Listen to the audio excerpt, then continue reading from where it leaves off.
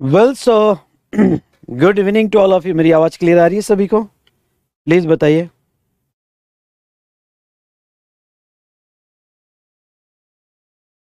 यार, मेरी आवाज़ क्लियर आ रही है बेटा?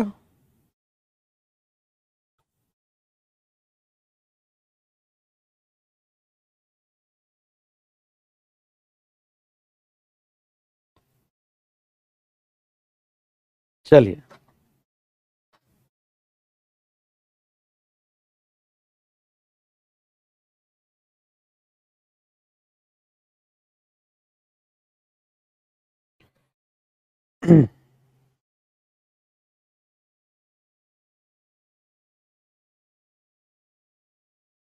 तो आज का हमारा टॉपिक होगा और ये टॉपिक है एग्जाम्शन तो एग्जाम्शन का रिवीजन हम करेंगे। सबसे पहले ये बता दूँ आपको कि एग्जाम्शन एग्ज़ाम के लिए इंपॉर्टेंट टॉपिक है। जनरली आप इग्नोर कर देते हो ये चैप्टर को पर ये चैप्टर को इग्नोर मत करो। दूसरी बात आ, ये टॉपिक में मैं यहाँ रिवीजन तो करवा रहा हूँ लेकिन आपको मैं फ्रैंकली कह देता हूँ ये टॉपिक रिवीजन में आपको जितना समझा, अच्छी बात है रिवाइज हो गया, अच्छी बात है, आप कनेक्ट हो गए, अच्छी बात है। लेकिन बेटा, आपको ये फ्रिक्वेंट रिवीजन में लेना पड़ेगा आपके रेगुलर बुक से। बहुत कुछ आपके रेगुलर बुक से पढ़ना पड़ेगा। इसलिए जो जो मैं यहाँ पे इंपॉर्टेंट एग्जामेशन आपको कहूँ कि आपको पढ़ के जाना है तो आपको पढ़ के जाना है बॉस दूसरा ऑप्शन नहीं है। जहाँ तक देखा जाए तो एग्जामेशन ये चैप्टर रेगुलर बुक में से प्लस अमेंडमेंट्स अच्छे से करके जाना, ये चैप्टर आपके लिए इंपॉर्टेंट चैप्टर है। मेरा अभी रिवीजन होने के बाद भी आपने अमेंडमेंट ज़रूर देखना एग्जामेशन की मेरी रिक्वेस्ट है आपसे। और अमेंडमेंट लेक्चर्स तो देखना ही देखना है आपको, क्योंकि ये रिवीजन है, ऐसा मत समझ लेना कि भाई रिवीजन हो गई। ओके तो अमेंडमेंट्स हो गया। शॉर्ट का जमाना है, पर इतना शॉर्ट का जमाना नहीं है। ओके थोड़ा आपको भी ध्यान रखना है। ठीक है आपको भी पढ़ना है। सब कुछ चीज़ें रेडीमेड तो नहीं मिलेगी बेटा but I am trying my best कि आपको जितना हेल्प कर, कर सको एग्ज़ाम के लिए उतना मैं आपको हेल्प करूँगा।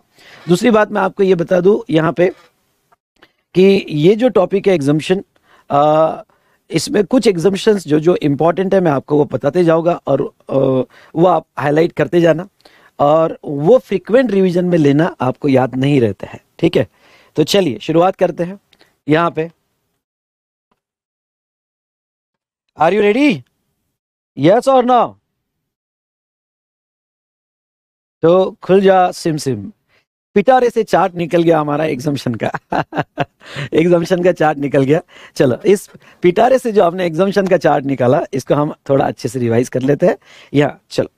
मैंने एग्जामेशन जो यहाँ पे डिवाइड किया है, वो सेक्टर वाइज डिवाइड किया है। आपने मेरा क्लास किया होगा तो आपको पता है कि मैं सेक्टर वाइज पढ़ाता हूँ और हमने एक स्टोरी बनाई थी। पुष्पा या बाहुबली की तबीयत खराब हुई, वो पूजा पाठ में लग गया, वो तबीयत खराब हुई हेल्थ केयर सेक्टर वो पूजा पाठ में लग गया ओके उसके बाद में उसके पास एग्रीकल्चर लैंड थी, उसका बंटवारा करना था। तो वो स्टोरी अभी मैं आपको बताऊँगा।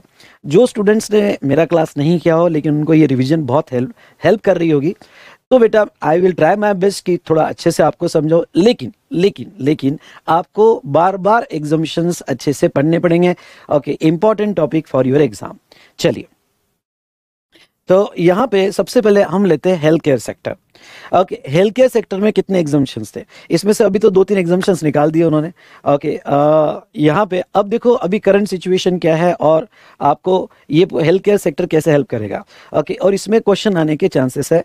तो देखिए health care sector health care sector में उन्होंने एग्जामेशन दिया health care service by clinical establishment authorised medical practitioners और पैरामेडिक पॉइंट नंबर वन मेरे साथ रिपीट करते जाना। पॉइंट नंबर वन ये तीन लोग यहाँ पे एग्जामेशन देंगे तो ही सॉरी ये तीन लोग सर्विसेज़ देंगे तो ही एग्जामेशन है। मतलब मतलब health care service clinical establishment देगा तो sir what do mean by clinical establishment hospitals nursing home okay और पैथोलॉजिकल लैब्स ये क्लिनिकल एस्टेब्लिशमेंट है। वो अगर सर्विस देंगे तो एग्ज़ाम है। दूसरा ऑथराइज मेडिकल प्रैक्टिशनर अगर सर्विस देगा तो एग्ज़ाम या पैरामेडिक्स जो है ओके पैरामेडिक्स ये अगर सर्विस देंगे तो ये एग्जाम्शन कहा जाएगा। What do mean by paramedics paramedics मतलब यहाँ पे जैसे टेक्नीशियन है, उसके बाद में यहाँ जहाँ तक लैब टेक, लैब टेक्नीशियंस होते हैं ओके तो ऐसे कुछ जो असिस्टेंट्स होते हैं पैरामेडिक्स में तो वो पैरामेडिक्स जो असिस्ट करते हैं okay for your health care तो वो पैरामेडिक्स इसमें कवर किए जाएँगे। अब नेक्स्ट इंपॉर्टेंट बात क्या है बेटा? Clinical establishment authorise medical practitioner और पैरामेडिक्स ये अगर हेल्थ केयर देंगे तो एग्ज़ाम मतलब क्या? मतलब अगर इसके अलावा दूसरा कोई हेल्थ केयर दे रहा है मतलब ऐसा कोई बंदा दे रहा है जिसके पास कोई ऑथराइज मेडिकल प्रैक्टिशनर यानी ओके मेडिकल एसोसिएशन के पास से कोई यहाँ पे ना डिग्री है ना डिप्लोमा है ना कोई सर्टिफिकेट है। ओके और वो सर्विस इंडिया में बहुत सारे लोग हेल्थ केयर देते हैं, बहुत सारे बाबा लोग बैठे हुए हैं। ओके और वो बाबा लोग यहाँ पे हेल्थ केयर सर्विस तंत्र मंत्र वाले बैठे हुए हैं, वो हेल्थ केयर सर्विस देते हैं। सबको यहाँ पे एग्जामेशन नहीं है। बस ये तीन लोगों को यहाँ पे एग्जामेशन दिया गया है। ओके अब हेल्थ केयर मतलब क्या? हम सिंपल सिंपल वर्ड रहे हमारी हेल्थ की केयर क्या इतना सिंपली इसको इंटरप्रिट करें? नहीं बेटा। हेल्थ केयर उन्होंने डिफाइन किया है और ये डेफिनेशन बहुत इंपॉर्टेंट है। इससे रिलेटेड आपके पास मेरा क्वेश्चन होगा। तो यहाँ पे क्वेश्चन सॉल्व करने की कोशिश करना। हर सेक्टर का एक क्वेश्चन तभी देखना। मैं अभी कह रहा हूँ, बाद में मत पूछना मेरे को कि क्या इंपॉर्टेंट है। हर हर सेक्टर का एक क्वेश्चन तो भी देखना तो आपको ये हेल्पफुल रहेगा। तो जहाँ तक देखा जाए हेल्थ केयर यानी क्या? जो ये डेफिनेशन में आएगा, उसको हेल्थ केयर कहेंगे means means any service by way of doctor sorry any service by way of diagnosis treatment और केयर मतलब क्या? डॉक्टर ये सर्विस दे रहा है, डायग्नोसिस दे रहा है, ट्रीटमेंट या केयर फॉर फॉर, ये पाँच आइटम पे दे रहा है illness injury pregnancy abnormality deformity मतलब क्या? मतलब ये क्लिनिकल एस्टेब्लिशमेंट या ऑथराइज मेडिकल प्रैक्टिशनर्स या पैरामेडिक ओके यहाँ पे आपको डायग्नोसिस सर्विस दे रहा है। किस पे? तो illness injury pregnancy abnormity deformity अब मेरे साथ और दो बार आपने बोलना है, ठीक है? या ऑथराइज मेडिकल प्रैक्टिशनर सर्विस दे रहा है। कौन सी डायग्नोसिस ट्रीटमेंट और केयर किस पे? तो बोलो illness injury pregnancy abnormity and deformity okay deformity ये पाँच, ओके यहाँ पे एक्टिविटी पे सर्विस दे रहा है कि आपको इलनेस हुआ होगा इंजुरी हुई होगी या प्रेगनेंसी एबनॉर्मिटी एंड डिफॉर्मिटी अगर ये पेशेंट होगा और उसके ऊपर डायग्नोसिस करके दे रहा है तो वो हेल्थ केयर में आएगा। सर हेल्थ केयर में ट्रीटमेंट करना ज़रूरी है क्या? नहीं। ओके, अगर वो बंदा डायग्नोसिस करके दे रहा है तो वो भी हेल्थ केयर में माना जाएगा। जैसे, कोई बड़ा डॉक्टर है और ओके, कोई पेशेंट है, उसको कोई इलनेस है, समझ में नहीं आ रहा है क्या हो रहा है तो वो सिर्फ़ क्या हुआ उसको? ओके, वो समझने के लिए वो डॉक्टर के पास जा रहा है। कोई दिल्ली का डॉक्टर समझ लो मुंबई का डॉक्टर है। उसके पास जा रहा है सिर्फ़ डायग्नोसिस करने और वो डॉक्टर है, उसने डायग्नोस किया कि अरे, ये प्रॉब्लम हुआ ओके दस लाख रुपए ले लिए। दस लाख रुपए एग्ज़ाम डायग्नोसिस किया जस्ट एग्ज़ाम और वर्ड है बेटा, और। डायग्नोसिस एंड ट्रीटमेंट नहीं बोला है, और बोला है। ओके, फिर डायग्नोसिस हुआ। अब कई हॉस्पिटल में, ओके, यहाँ पेशेंट एडमिट हो गया। या कोई लोकल डॉक्टर ट्रीटमेंट कर रहा है तो अगर कोई ट्रीटमेंट कर रहा है ऑन दिस फाइव एग्ज़ाम या केयर केयर मतलब क्या ट्रीटमेंट होने के बाद, ओके रूम रूम रेंट दी गई। असिस्टेंट डॉक्टर केयर कर रहा है। ओके इसके बाद में ऑर्थोपेडिक है, उसके बाद में मतलब बहुत सारे पैरामेडिक्स है जो केयर कर रहे हैं। केयर भी कर रहे होगे तो ट्रीटमेंट के बाद जो जो चीज़ें केयर के लिए होती है including renting of room in hospital तो वो भी जो है, यहाँ पे, ओके एग्ज़ाम रहेगा। तो ये जो डायग्नोसिस ट्रीटमेंट केयर है on illness injury pregnancy abnormity deformity ये जो होना चाहिए, वो रिकोगनाइज सिस्टम ऑफ़ मेडिसिन में होना चाहिए। अब रिकोगनाइज सिस्टम ऑफ़ मेडिसिन क्या क्या है? Allopathy yoga naturopathy Ayurveda homeopathy Siddha Unani यानी any other notified okay system recognise by the government ठीक है? तो ये जो है आपका यहाँ पे योगा नेचुरोपैथी इसमें डायग्नोसिस हो रहा है ट्रीटमेंट हो रहा है केयर हो रहा है तो यहाँ पे एग्ज़ाम रहेगा। ओके अब कोई तंत्र मंत्र वाला है कोई साधु बाबा है कोई रिकोगनाइज सिस्टम नहीं है जहाँ ओके यहाँ पे फूक फाक कर रहा है और ट्रीटमेंट दे रहा है। ओके okay, तो ऐसे केस में यहाँ पे उसको कोई एग्जामेशन नहीं मिलेगा। जो भी ट्रीटमेंट होने वाली है डायग्नोसिस होने वाला है केयर होने वाला है ओके okay, वो यहाँ पे रिकोगनाइज सिस्टम ऑफ़ मेडिसिन में होगा तो ही एग्जामेशन मिलेगा। नाउ अब एक सवाल बहुत सी बार आता है कि सर कोई योगा क्लासेस ले रहा है? ओके योगा क्लासेस लेना एग्ज़ाम नहीं है। योगा से डायग्नोसिस करना, ये पाँच पर। इलनेस इंजुरी प्रेगनेंसी डिफॉर्मिटी या योगा से ट्रीटमेंट करना, ये पाँच पर। या केयर करना, ये पाँच पर। ओके तो उसको ही एग्ज़ाम है। ओके आपकी जस्ट हेल्थ मेंटेन करने के लिए योगा क्लासेस ले रहा है, कोई जिम के क्लासेस ले रहा है तो उसको एग्जामेशन नहीं है। समझ में आया क्या? समझ में आया तो फटाफट जितने स्टूडेंट कनेक्टेड है वन टाइप करो। I hope are you getting me तो yoga all diagnosis treatment care और ये पाँच आइटम पे होगा तो ही एग्ज़ाम है। इसको कैसे याद रखना? ओके ये लर्न करना पड़ेगा आपको। कैसे याद रखना? ओके तो दो आईपैड मतलब I I P A D दो आईपैड डीटीसी कुरियर से बुलाए। दो आईपैड डीटीसी कुरियर से बुलाए। ये समझ में आया क्या? तो यहाँ illness injury pregnancy abnormity deformity इसके ऊपर डायग्नोसिस ट्रीटमेंट केयर होगा रिकग्नाइज सिस्टम ऑफ़ मेडिसिन में होगा तो ही वो हेल्थ केयर माना जाएगा और उसको एग्जामेशन दिया जाएगा। उसके बाद में includes includes transportation of patient to और फ्रॉम क्लिनिकल एस्टेब्लिशमेंट। तो अगर एंबुलेंस सर्विस होगी तो एंबुलेंस सर्विस यहाँ पे एग्ज़ाम होगी। तीसरा ओके तीसरा हेयर ट्रांसप्लांट कम तीसरा क्या बेटा? हेयर ट्रांसप्लांट और कॉस्मेटिक और प्लास्टिक सर्जरी ओके इसको कोई बेनिफिट नहीं है। मतलब कोई डॉक्टर हेयर ट्रांसप्लांट कर रहा है कॉस्मेटिक प्लास्टिक सर्जरी कर रहा है, जो ब्यूटी ट्रीटमेंट है, उसको कोई बेनिफिट नहीं है। अगर कोई भी हॉस्पिटल ने डॉक्टर ने हेयर ट्रांसप्लांट या कॉस्मेटिक प्लास्टिक सर्जरी किया even though in recognise system of medicine किया होगा, उसको कोई बेनिफिट नहीं है, वो टैक्सेबल रहेगा और जीएसटी आएगा। एक्सेप्ट ये एक्सेप्शन ज़रूर याद रखना। एक्सेप्शन क्या है? ओके okay, यहाँ पे देखो। वो कहते हैं कि एक्सेप्ट यहाँ पे okay when undertaken to restore to reconstruct anatomy और फ़ंक्शंस ऑफ़ बॉडी कभी कभी क्या होता है, बचपन से आपने देखा होगा, कुछ पेशेंट्स होते हैं, बचपन से डिफेक्ट होता है, हाथ में डिफेक्ट होता है, या फिर चेहरे पे डिफेक्ट होता है तो उसकी प्लास्टिक सर्जरी करनी पड़ती है। तो ओके जो बचपन से कॉन्जेंटिनल डिसीज है डिफेक्ट है ओके और उसको सही करने के लिए कॉस्मेटिक और प्लास्टिक सर्जरी होगी तो फिर एग्जाम्शन है।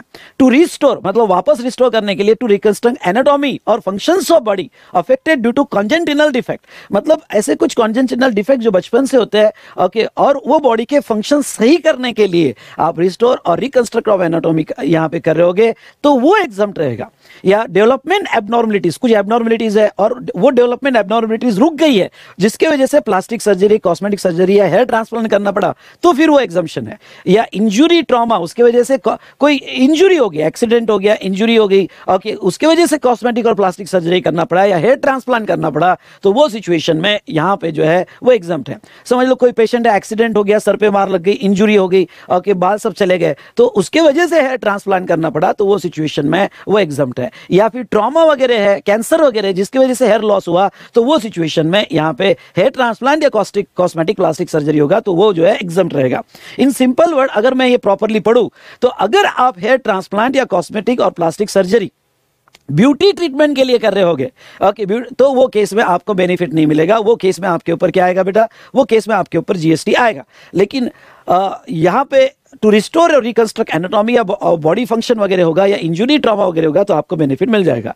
ये था बेटा हेल्थ केयर तो हेल्थ केयर में तीन चीज़ें आती means includes and exclude in short अगर ये हेल्थ केयर जिसमें तीन चीज़ें हमने देखा DTC double I pad DTC double I pad in recognise system of medicine या एंबुलेंस सर्विस होगी ओके तो या फिर hair transplant cosmetic surgery okay to restore reconstruct anatomy and etcetera होगा।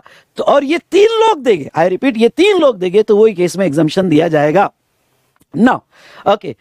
अभी देखो, ये तो क्लियर है कि एंबुलेंस सर्विस अगर क्लिनिकल एस्टेब्लिशमेंट देता है एंबुलेंस सर्विस अगर ऑथराइज मेडिकल प्रैक्टिशनर देता है तो एग्ज़ाम है। फिर एक सवाल उठा कि अगर एंबुलेंस सर्विस ये तीनों के अलावा स्पेशली एंबुलेंस सर्विस ये तीनों के अलावा ओके जैसे प्राइवेट ऑर्गेनाइजेशन चैरिटेबल ट्रस्ट वगैरह ओके या कोई प्राइवेट पर्सन भी देगा तो क्या वो टैक्सेबल रहेगा? तो नहीं। उन्होंने बी में क्लियर बोल दिया कि ambulance service by other by other मतलब कोई चैरिटेबल ट्रस्ट वगैरह होगी ओके तो वो भी एग्ज़ाम रहेगा। ओके तो ऐसा हमने ए और बी दोनों क्लॉज में देखा। नाउ 2022 में एक नोटिफिकेशन आया और ये नोटिफिकेशन ओके एक यहाँ पे आ सकता है इसके ऊपर क्वेश्चन ठीक है? इंपॉर्टेंट करना। तो ये नोटिफिकेशन क्या है? देखो, मैं ये प्रोविजो यहाँ पे पढ़ता हूँ। Provided that nothing in this entry shall apply to the service provided by clinical establishment by way of providing rooms underline by way of providing rooms other than ICU CCU ICCU NICU okay okay, वो अलग अलग जो है यहाँ पे ICU वगैरह। Having room charges exceeding rupees five thousand per day to a person receiving health care services देखो हमने क्या देखा? केयर करना केयर करना भी एग्ज़ाम है।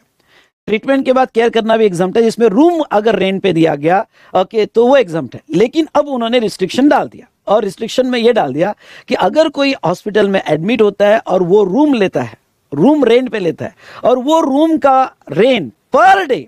ओके, पर डे यहाँ पे फाइव थाउज़ेंड से ज़्यादा होगा। I repeat per day five thousand से ज़्यादा होगा। लर्न करके जाना ही फाइव थाउज़ेंड से ज़्यादा होगा तो वो सिचुएशन में एग्जामेशन नहीं मिलेगा। वो रूम रेंट पे, बाकी बाकी एग्जामेशन है। मतलब हॉस्पिटल में ट्रीटमेंट होती है डायग्नोसिस होता है, बाकी एग्ज़ाम है। सिर्फ़ रूम रेंट के बारे में अगर हम बात करें ओनली फॉर रूम रेंट तो पाँच हज़ार के ऊपर होगा तो वो पूरा रूम रेंट पूरा रूम रेंट टैक्स टैक्सेबल होगा। The entire room rent taxable होगा। लेकिन अगर ये room rent ICU CCU ICCU या एनआईसीयू का होगा तो वो एग्ज़ाम रहेगा। इसके अलावा नॉर्मल रूम रेंट अगर अमीर ज़्यादा है और वो अमीर ज़्यादा पाँच हज़ार के ऊपर के रूम में रह रहा है, ओके फाइव स्टार की फैसिलिटी ले रहा है हॉस्पिटल में तो ऐसे केस में पूरे रूम रेंट पे जीएसटी आएगा। बॉस ये समझाए क्या? ओके, जितने भी स्टूडेंट कनेक्टेड रिप्लाई करेंगे, मेरी बेस्ट विशेष चाहिए आपको तो ठीक है? रिप्लाई भी करेंगे और समझ में आया तो यस लाइक करो। तो ऐसे सिचुएशन में यहाँ जहाँ तक देखा जाए, इस पे छोटा सा क्वेश्चन आ सकता है इस बार एग्ज़ाम में। चलिए तो ये था हमारा हेल्थ केयर सेक्टर का पहला एग्जामिशन सर ये सीरियल नंबर वगैरह याद रखने पड़ते क्या? नहीं। ओके याद रखने की कोई ज़रूरत नहीं है। ओके लेकिन एक नोटिफिकेशन अगर याद रह जाए तो अच्छी बात है। ओके तो कौन सा नोटिफिकेशन 2017 का 12 12 2017 2017 में जीएसटी आया और 12 ओके तो ये जो नोटिफिकेशन है, ये याद रह जाए, क्योंकि जब भी आप अगर नोट लिखोगे और आप ये लिखोगे कि एग्जामेशन नोटिफिकेशन 12 2017 तो उतना भी इनफ है। एग्जामेशन नोटिफिकेशन 12 2017 यस चलो। ये था हेल्थ केयर सेक्टर तो क्या एग्ज़ाम है और क्या टैक्सेबल है? थोड़ा एक बार रिवाइज कर ले हेल्थ केयर में हायरिंग हाँ अच्छा अच्छा अच्छा। ये ये मैं समझाता हूँ थोड़ा आपको। अब यहाँ पे एक क्लैरिफिकेशन आया था हेल्थ केयर सेक्टर में, वो भी ले लेता हूँ। Hiring of senior doctor consultant technician independently by hospital बहुत सी बार क्या होता है कि बड़े बड़े हॉस्पिटल डॉक्टर्स उनके एम्प्लॉय नहीं होते, वो बड़े बड़े डॉक्टर्स को हायर करते हैं। तो अगर डॉक्टर हॉस्पिटल को सर्विस दे रहा है पेशेंट को नहीं सीनियर डॉक्टर हॉस्पिटल को सर्विस दे रहा है तो क्या वो एग्ज़ाम रहेगा? ये कहीं नहीं लिखा है कि सर्विस पेशेंट को जानी चाहिए। बस इतना लिखा है कि health care service by medical practitioners होनी चाहिए। ये कहा लिखा है कि if service supply to patient then exempted नहीं, ये कहीं नहीं लिखा है। तो आप ये सर्विस का बिल के हॉस्पिटल पे दो पेशेंट्स को दो, उससे कोई कंसर्न नहीं। अगर आपका service diagnosis treatment care on double iPad होगा और बिल किसको भी दो तो भी एग्ज़ाम रहेगा। Okay retention money taken by hospital अब ये रिटेंशन मनी क्या होता है? पेशेंट से बहुत सी बार ओके हॉस्पिटल वाले लेते हैं एक लाख रुपए और डॉक्टर को देते हैं यहाँ पे फोर्टी थाउज़ेंड या fifty thousand fifty percent doctor को देते हैं। बाकी फिफ्टी परसेंट खुद रिटेन कर लेते हैं। तो वो फिफ्टी परसेंट जो खुद रिटेन करते हैं, क्या वो एग्ज़ाम रहेगा? यस वो भी हेल्थ केयर है। वो तो कमीशन थोड़ी है। वो हॉस्पिटल हेल्थ केयर का बिल पेशेंट को दे रहा है। तो जो भी हॉस्पिटल का रिटेंशन मनी होगा, वो हेल्थ केयर में ही माना जाएगा। और यहाँ पे यहाँ पे retention money taken by hospital वो भी एग्ज़ाम रहेगा। Food supply to admitted patient ख्याल रहे। ओके अगर हॉस्पिटल की कैंटीन है, सुनना।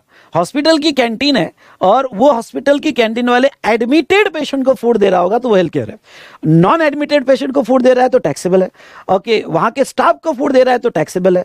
जो पेशेंट एडमिटेड है, वो के, वो केयर माना जाएगा। वो केयर में आएगा care on illness injury pregnancy और उसको एग्जामेशन मिलेगा नॉन एडमिटेड पेशेंट से कैटरिंग सर्विस को एग्ज़ाम नहीं है, या फिर स्टाफ को कैटरिंग सर्विस दी तो एग्ज़ाम नहीं है। ओके टैक्सेबल क्या रहेगा? Food supply to non admitted patients and attendant supply okay food supply to doctor staff या outsource by hospital to outdoor caterers या हॉस्पिटल ने खुद की कैंटीन नहीं, किसी और का आउटसोर्स कर दी तो वो यहाँ पे टैक्सेबल रहेगा। चलिए तो हेल्थ केयर का पहला एग्जामेशन हमारा हो गया। ओके नाउ नेक्स्ट यहाँ पे सेकेंड हेल्थ हेल्थ केयर के।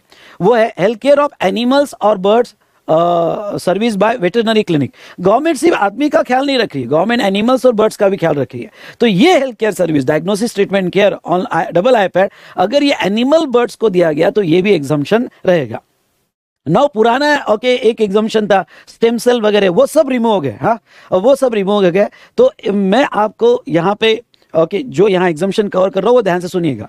तो हेल्थ केयर और एनिमल और bird service by veterinary clinic उसके बाद में service provided by professionals by way of rehabilitation therapy और counselling at medical establishment educational institution government sector charitable institution under twelve A और twelve A B तो जैसे rehabilitation therapy और counselling वगैरह होती है, वो प्रोफेशनल स्पेशली सर्विस देते हैं। ओके समझ लो किसी को नार्कोटिक्स की आदत है, दारू की आदत है तो रिहेबिलिटेशन सेंटर्स होते हैं जहाँ प्रोफेशनल सर्विसेज़ देते हैं।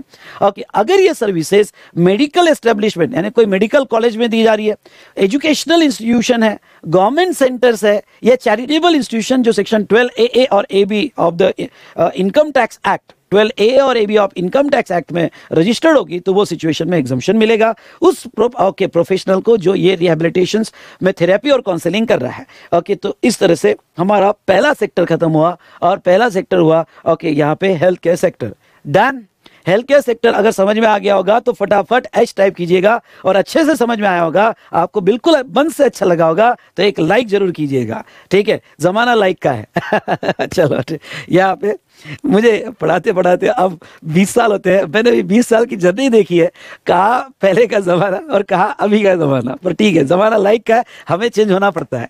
तो जहाँ तक है exemption related to health care services ये हमने देखा। उसके बाद में नेक्स्ट यहाँ पे। अब एक एक स्टोरी भी तैयार करते हैं। स्टोरी से क्या हो जाएगा? ये सेक्टर्स आपको याद रह जाएँगे। एक स्टोरी है तैयार करते हैं। यहाँ पे स्टोरी ले लो, पुष्पा। पुष्पा की तबीयत खराब हुई। ओके पुष्पा की तबीयत खराब हुई, यानी हेल्थ केयर सेक्टर ठीक है? उसके बाद में नेक्स्ट अब यहाँ पे आते हैं। चैरिटेबल एंड रिलीजियस सेक्टर ये सेक्टर के एग्जामेशन देख लेते हैं। पहला ओके सर्विस बाय एंटिटी ख्याल में रखना. Service by entity registered under section 12 A A और A B of income tax act और सर्विस दे रही है by way of charitable activity I repeat by way of क्या? चैरिटेबल एक्टिविटी यहाँ पे चैरिटेबल एक्टिविटी वो सर्विसेज़ दे रही है. और what do mean by charitable activity तो वो नीचे डिफाइन किया है. वो नीचे डिफाइन किया है. अगर इंडिया की कोई भी चैरिटेबल ट्रस्ट, जो income tax act section 12 A A में या 12 ए, बी में रजिस्टर्ड है और नीचे दी गई वो चैरिटेबल एक्टिविटी कर रही होगी तो वो एग्ज़ाम रहेगी, वो एग्ज़ाम रहेगी। अब सर, ये नीचे दी गई इतनी सारी चैरिटेबल एक्टिविटी लर्न करेगा, लर्न मत करना। पर कुछ एक दो बार ऐसे पढ़ लेना कि जिस, अगर इसमें कोई सवाल पूछ लिया, कोई प्रॉब्लम में एडजस्टमेंट पूछ ली तो आपको क्लिक हो जाए। आपको क्लिक हो जाए। ओके चैरिटेबल एक्टिविटी ब्रॉडली मैं यहाँ चार पार्ट में डिवाइड करूँगा। पहला पब्लिक हेल्थ से रिलेटेड दूसरा कुछ treat okay spiritual spiritual activity और तीसरा एडवांसमेंट ऑफ़ एजुकेशनल प्रोग्राम या स्किल डेवलपमेंट और प्रिवेंशन ऑफ़ एनवायरमेंट ठीक है? देखो मेमोरी को जब भी कोई चीज़ टफ जाती है ना तो वो सिचुएशन में उसको जो है यहाँ पे ओके ब्रेक ब्रेक में पढ़ो तो आ, आपको याद रखने में आसानी होती है। ठीक है? तो चलिए। Public health by way of okay now care और काउंसलिंग या पब्लिक अवेयरनेस केयर और काउंसलिंग दिया जा रहा है।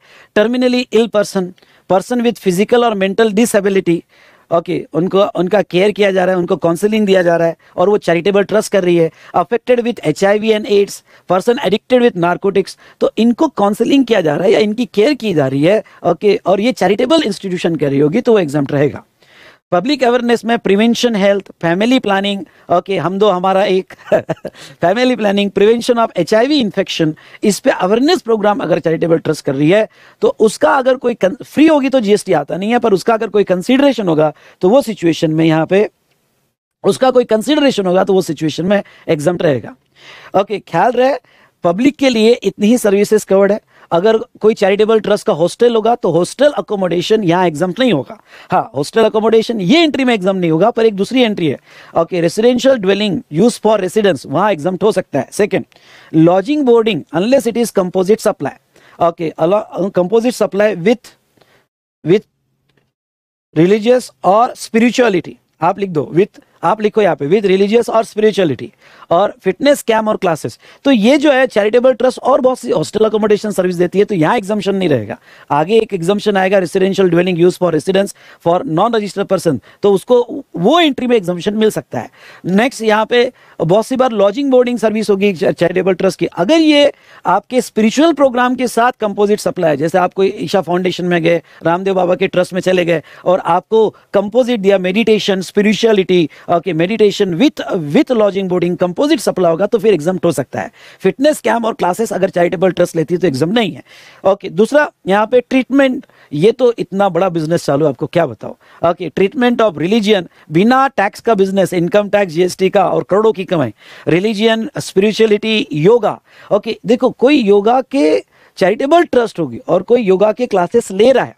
Okay treatment by treatment of religion और स्पिरिचुअलिटी और योगा ओके योगा के क्लास चैरिटेबल ट्रस्ट ले रही होगी तो एग्जामेशन मिलेगा ठीक है उसके बाद में एडवांसमेंट ऑफ़ एजुकेशनल प्रोग्राम और skill development relating to abandoned orphan और homeless children physically mentally abuse person prisoners और पर्सन ये ये अच्छे से बढ़ के जाना person over the age of 65 years residing in rural area मतलब ये जो अब ओल्ड एज पर्सन होते हैं, उनका कुछ एजुकेशनल प्रोग्राम कैरी आउट करना skill development programme carry out करना प्रिजनर का करना, यहाँ पे तो ऐसे सिचुएशन में एग्जामेशन मिलेगा। और prevention environment includes watershed forest and wild life forest और वाइल्ड लाइफ का प्रिवेंशन ऑफ़ एनवायरमेंट एक्सेट्रा ऐसे कोई चैरिटेबल एक्टिविटी होती है तो उसको एग्जामेशन मिलेगा।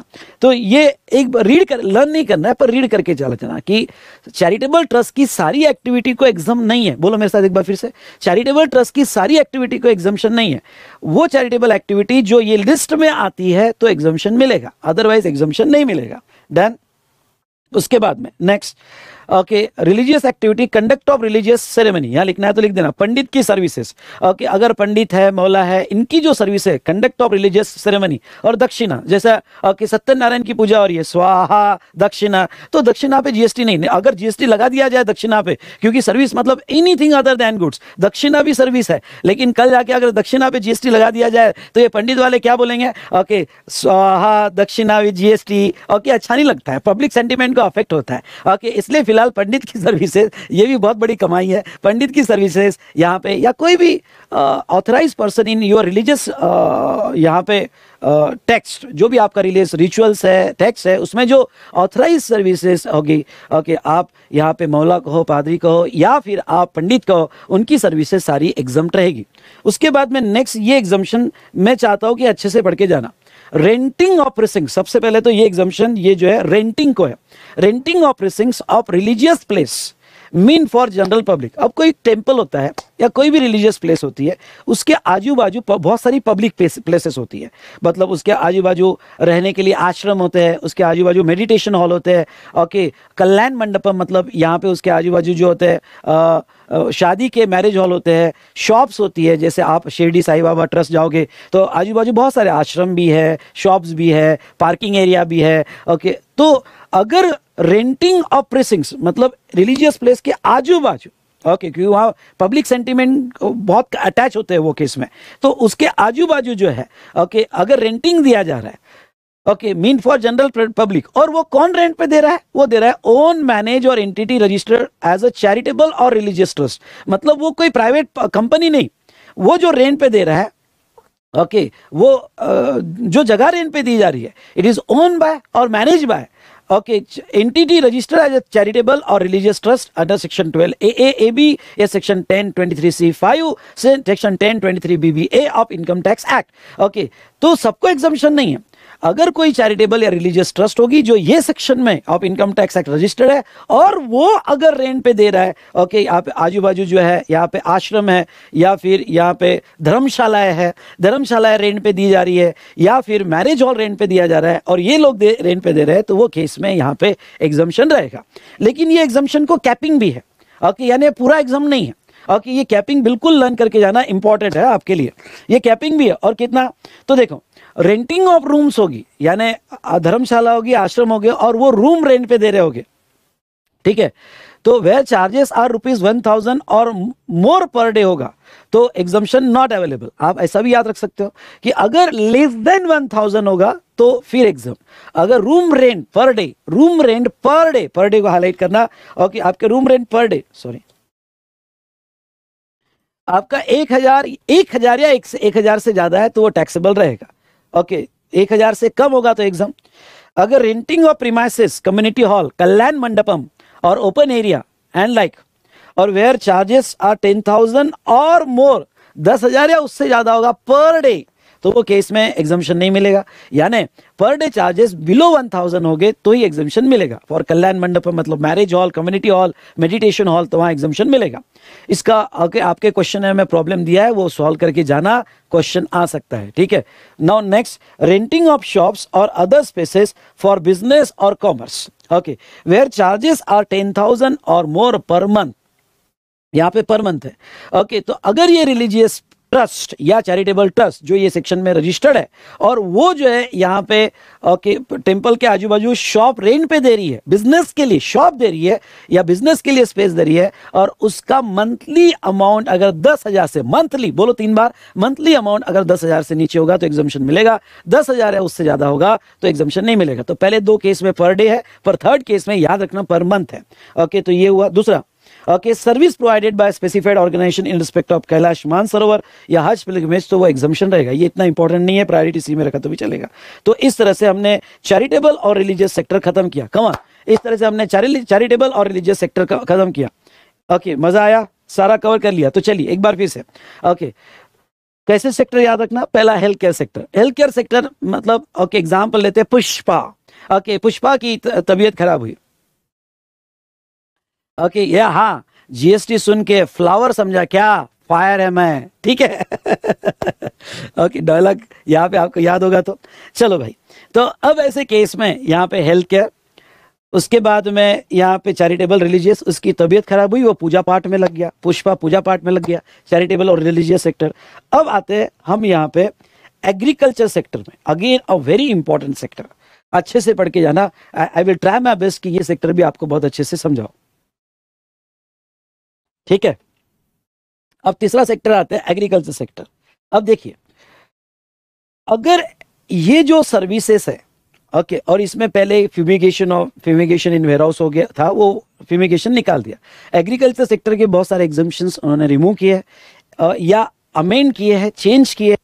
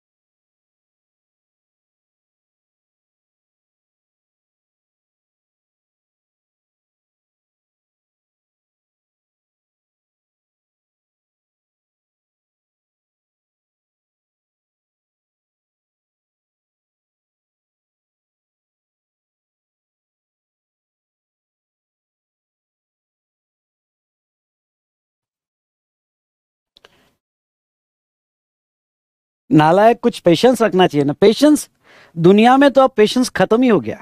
और चार जीपीटी आने के बाद तो और पेशेंस खत्म हो जाएगा। और खत्म हो जाएगा। ओके अब फ्यूचर में एक मैं बोलता हूँ फ्यूचर में क्लासेस का स्कोप कहाँ पे अभी से तैयारी करना। पेशेंस कैसे मेंटेन किया जाए? ये इसके क्लासेस हो गए। मेडिटेशन कैसे किया जाए? सोशल मीडिया से कंट्रोल कैसे किया जाए? इसके स्पेशल क्लासेस हो गए। और ये फ्यूचर का अच्छा स्कोप है, मैं अभी आपको बता देता हूँ। अभी से तैयारी कर लो। ठीक है, देख लेना। फ्यूचर में इसके क्लासेस हो गए। Meditation how to keep away from social media how to keep away from technology how to okay यहाँ पे स्पिरिचुअलिटी ये अच्छा बिज़नेस है फ्यूचर में। ठीक है?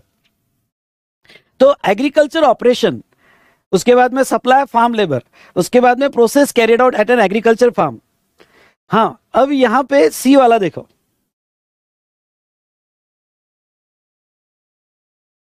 अब यहाँ पे ये देखना। Process carried out at an agriculture farm including tending pruning cutting harvesting drying cleaning trimming bulk bulk packaging okay मतलब वो वो होते हैं ना, बड़े गनी बैग्स, पोते पोते जो होते गनी बैग्स, उसमें पैकेजिंग करना bulk packaging which do not alter the essential characteristic of AP AP का मतलब एग्रीकल्चर प्रोड्यूस एपी का मतलब agriculture produce next leasing renting और लीजिंग ऑफ़ एग्रो मशीनरी ये इंपॉर्टेंट एंट्री है, इस पर बहुत सी बार पूछा जाता है। रेंटिंग और लीजिंग ऑफ़ एग्रो मशीनरी और वैकेंड लैंड एग्रो मशीनरी और वैकेंड लैंड विथ और without structure incidental to its use उसके बाद में ये भी एक इंपॉर्टेंट एंट्री है फेवरेट एंट्री है हमारे इंस्टीट्यूट की लोडिंग अनलोडिंग पैकिंग स्टोरेज और वेयरहाउसिंग ऑफ़ एपी एपी मतलब एग्रीकल्चर प्रोड्यूस उसके बाद में एग्रीकल्चर एक्सटेंशन सर्विसेज़ उसके बाद में service by way of APMC APMC मतलब हाँ एग्रीकल्चर एक्सटेंशन सर्विस मतलब रिसर्च सर्विस आपको लिखना है तो लिख सकते हो. रिसर्च सर्विस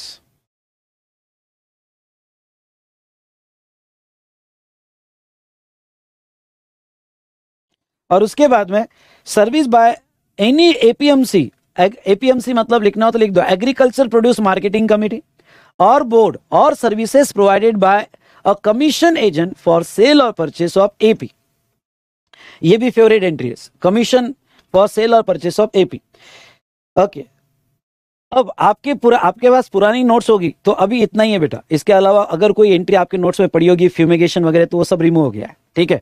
तो ये सर्विसेज़ अगर आप ए से लेके जी तक, ये सर्विसेज़ अगर एग्रीकल्चर या एग्रीकल्चर प्रोड्यूस पे दी गई तो एग्ज़ाम तो अब मैं, ये तो आपको पढ़ाऊँगा ही लेकिन पहले मैं मीनिंग बता देता हूँ एग्रीकल्चर और एग्रीकल्चर प्रोड्यूस ठीक है?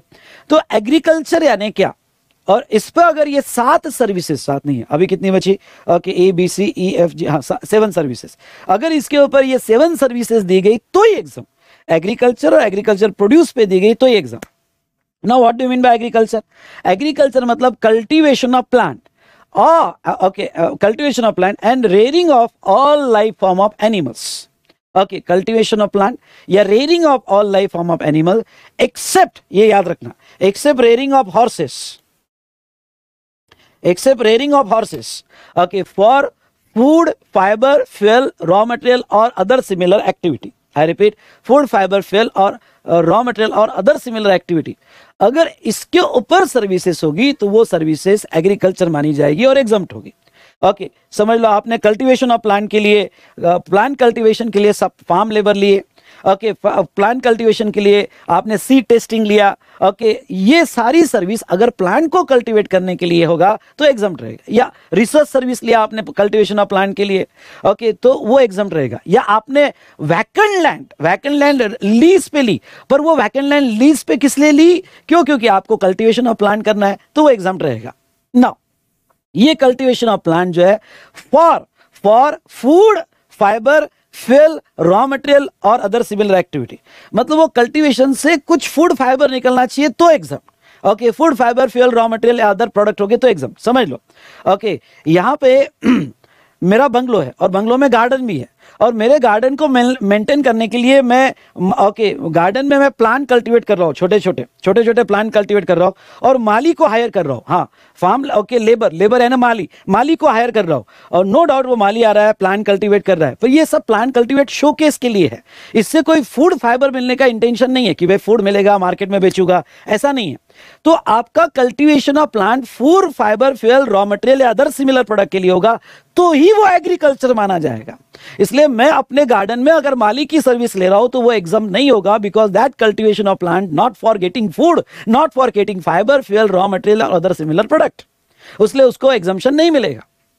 आई होप यू अंडरस्टूड दूसरा दूसरा यहाँ पे ओके उन्होंने कहा एग्रीकल्चर में rearing of all life form of animals यानी कोई भी एनिमल जिसमें लाइफ है ह्यूमन छोड़ के कोई भी एनिमल जिसमें लाइफ है ओके वो आप पाल रहे हो। और किस लिए पाल रहे हो? For getting food okay for getting food fibre fuel raw material और ओके uh, यहाँ पे तो एग्ज़ाम रहेगा। जैसे जैसे यहाँ पे poultry farm poultry farm for getting food okay या fibre poultry farm for getting food या अदर सिमिलर प्रोडक्ट जिसमें एग्स है चिकन है या फिर sericulture silk worm silk worm पाल रहे हो उस उससे फाइबर मिलने के लिए या फिर आपका हनी बीज फार्म हो गए तो ये जो यहाँ पे जो rearing of all life form of animals cow cow buffalo उसके इनको पाल रहे हो फॉर गेटिंग मिल्क एक्सेट्रा तो ऐसे सिचुएशन में ओके okay, उनको पालना भी एग्रीकल्चर बोली जाएगी। इसलिए ओके रेयरिंग ऑफ़ एनिमल्स के लिए अगर आप लेबर की सर्विसेज़ ले रहे हो, या आप कोई मशीनरी रेंट पे ले रहे हो, कोई लैंड पोल्ट्री फार्म के लिए कोई लैंड रेंट पे ले रहे हो तो जो आपको लैंड रेंट पे देगा एग्ज़ाम रहेगा।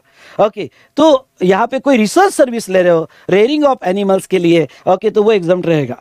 तो एक चीज़ आप ख्याल में रखना कि एग्जामेशन तभी मिलेगा अगर आपका कल्टीवेशन या रेयरिंग जो है फ़ूड फाइबर के लिए हो रहा है। फॉर एग्ज़ाम्पल अगर मैं पेट्स पाल रहा हूँ पेट्स मतलब डॉग्स है, या कैट है, या जो भी पेट्स पाल रहा हूँ, लेकिन उससे कोई food fibre fuel raw material मिलने का इंटेंशन नहीं है तो जो आप पेट्स पाल रहे हो, उसको, उसके रिलेटेड सर्विस को एग्जामेशन नहीं होगा।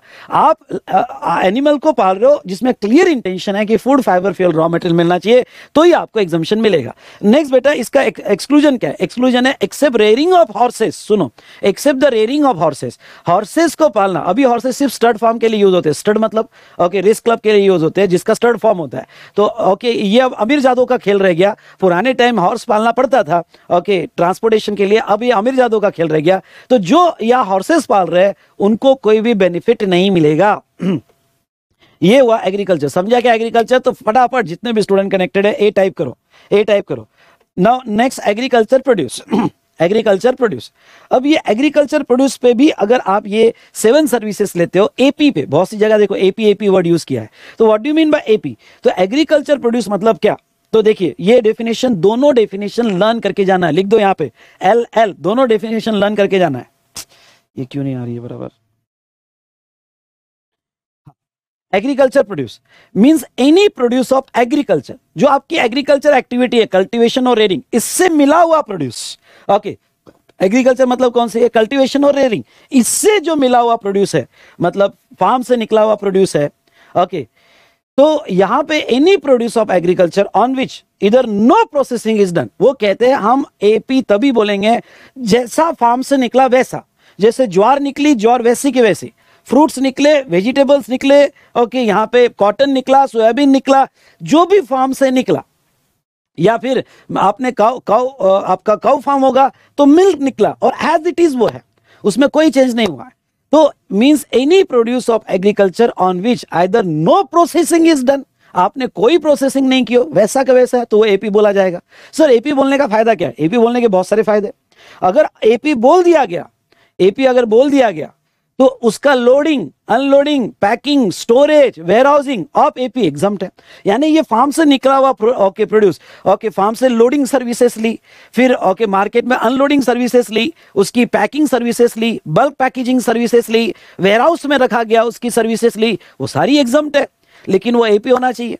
दूसरा, आप जब APMC agriculture produce marketing committee ये क्या होती है एग्रीकल्चर प्रोड्यूस मार्केटिंग कमेटी कृषि उत्पादन बाज़ार समिति, अगर आपको याद होगा तो। तो ये कृषि उत्पादन एग्रीकल्चर प्रोड्यूस उत्पादन मार्केटिंग बाज़ार कमेटी, समिति। कृषि उत्पादन बाज़ार समिति जो आपने मंडी जिसको हम बोलते हैं, ओके, वहाँ उनकी आप सर्विसेज़ लेते हो, मंडी में जाते हो, ओके, वहाँ गुड्स बेचने के लिए शेड लेते हो, जगह लेते हो, उनकी सर्विसेज़ एग्ज़ाम होगी अगर पे होगा। और नेक्स्ट आपका अगर एपी रहेगा और आप उसके लिए एजेंट अपॉइंट करते हो जैसे अड़तिया ओके जनरली एग्रीकल्चर प्रोड्यूस के एजेंट को अड़तिया बोला जाता है। तो ओके माल बेचने के लिए आप अड़तिया अपॉइंट करते हो आपने मंडे में देखा होगा बहुत सारे एजेंट्स होते हैं। उनकी सर्विसेज़ भी एग्ज़ाम एग्ज़ाम है ऑन सेल और purchase of agriculture produce okay sale और परचेस ऑफ़ एग्रीकल्चर प्रोड्यूस तो ऐसे केस में ओके okay, इस बात का ध्यान रखा जाए कि ये जो एग्रीकल्चर प्रोड्यूस है means any produce of agriculture on which either no processing is done तो एपी रहेगा। सर अगर प्रोसेसिंग हो गई तो फिर वो एपी नहीं। और एपी नहीं तो ये सारे बेनिफिट्स नहीं। ओके वो जैसा निकला वैसा ही। ओके और और, अब सेकंड देखो वो क्या कहते हैं। Such processing is done as usually done by cultivator और प्रोड्यूसर या फिर वो कुछ ऐसी प्रोसेस जो करनी पड़ती है और वो जनरली कल्टीवेटर करता है। कल्टीवेटर मतलब फार्मर या प्रोड्यूसर करता है। जैसे ओके आपको पता है कि ज्वार वैसे नहीं निकलती है। ओके ज्वार फार्म से निकलने के बाद थ्रेशिंग करना पड़ता है। और यूजुअली ज्वार को मार्केट में लाने के लिए थ्रेशिंग करनी पड़ती है। और वो फार्मर ही करता है, बाहर नहीं करता, वो फार्मर ही करता है। अगर कोई प्रोसेस ज़रूरी होगी तो वो ज़रूरी प्रोसेस पहली कंडीशन कल्टीवेटर ने करना चाहिए प्रोड्यूसर ने करना चाहिए। उस प्रोसेस से एसेंशियल कैरेक्टर नहीं बदलने चाहिए। Jowar remains jowar, soybean remains soybean. Okay and make it marketable for primary market अगर वो प्रोसेस नहीं करूँगा तो मार्केट में ज्वार के फ्लावर जो ज्वार के कुंदे होते हैं, वो पता ही नहीं, वो कौन लेगा?